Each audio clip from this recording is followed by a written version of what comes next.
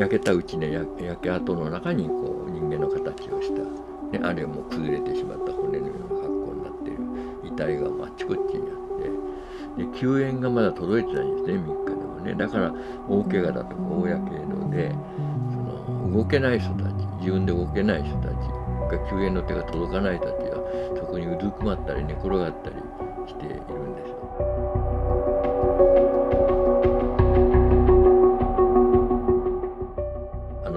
っていうのはものすごく変な匂いですよね。人が怪我してやけどしてる匂いでしょ。焼けてる匂いでしょ、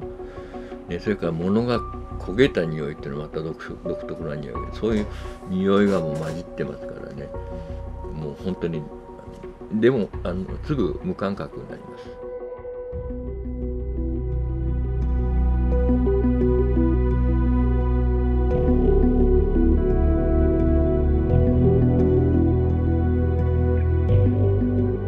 射能の影響がもうすぐ生き残った人にはその日から続くわけですよ。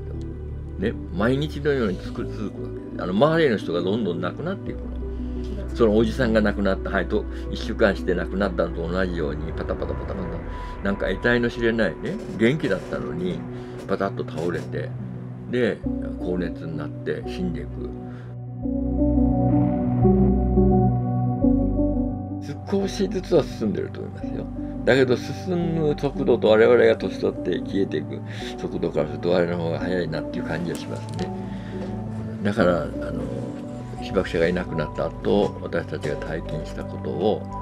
どれくらいの人たちがねあのなんとかなリアルに受け止めてくれるようなことができるかっていうのは心配ですけども。